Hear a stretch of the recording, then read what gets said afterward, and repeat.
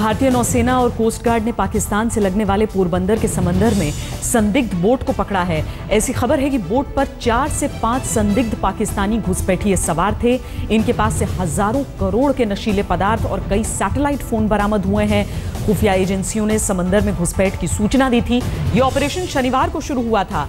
Coast guard इस boat को पोरबंदर लेकर आ रही थी आपको याद होगा 31 दिसंबर को अरब सागर में भारत पाक समुद्री सीमा के पास विस्फोटकों से भरी एक संदिग्ध बोट में धमाका हुआ था। हालाँकि, चूँकि उस वक्त धमाका हो गया था, पाकिस्तान अब तक यह राग अलापता है कि उसमें मछुआरे सवार थे। लेकिन खुफिया एजेंसियों के मुताबिक ये 26 ग्यारह जैसा आतंकी हमला दोहराने की पाकिस्तान सेना की साजिश थी।